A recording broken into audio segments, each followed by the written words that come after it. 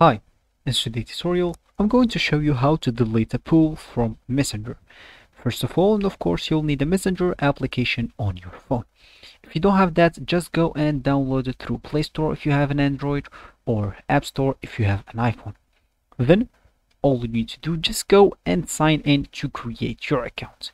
If you already have an account, just ignore all of that, log into your account, and let's get straight to it.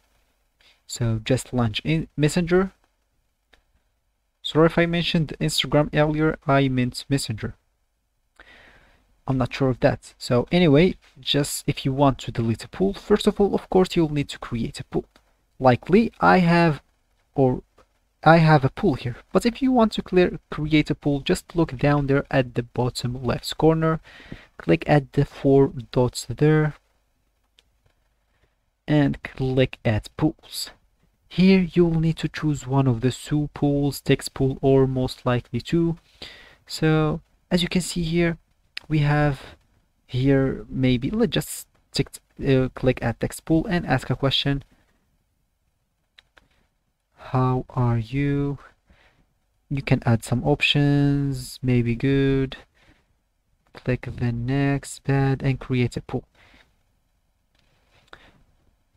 So as, as you can see here, we have created a pool. So if you want to view the pool, just click on that. You can add an option maybe, or we can do whatever you want.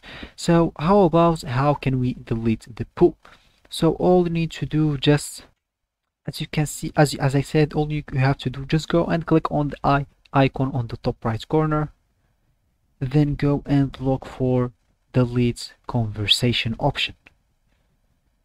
So if you can't find it here, if you scroll down, all you need to do, just click on the three dots there. And as you can see here, we have the delete conversation. As you can see here, once you delete your copy of the conversation, it cannot be, it can't be undone. So if you click on, if you click on delete, as you can see, the conversation is gone and the pool is gone as well so this is how you can delete the pool from conversation and unfortunately you will be deleting the whole conversation as well. So that's it for this video. I hope you like it. Thanks for watching and goodbye